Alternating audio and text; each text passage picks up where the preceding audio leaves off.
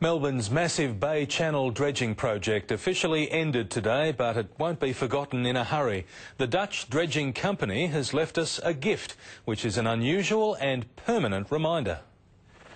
The Queen of the Netherlands owners want us to remember them forever. Their gift guarantees that. Footprint Alliance, a $400,000 work by a Dutch sculptor known as the Maritime Michelangelo.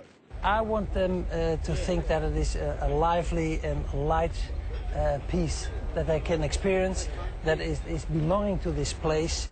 It features bay icons, a buoy, pier, dredging machinery and a surfboard poking fun at protesters. A reference to the welcoming committee when we sailed the Queen into the bay for the first time.